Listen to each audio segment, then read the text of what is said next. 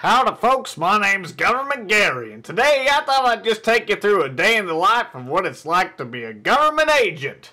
You know, we've been real busy these days, especially with all this coronavirus paranoia go- uh, I mean, justified horrific pandemic. Well, anyway, this is about how my day starts and uh, about all I do, really. There goes the First Amendment, and the Second,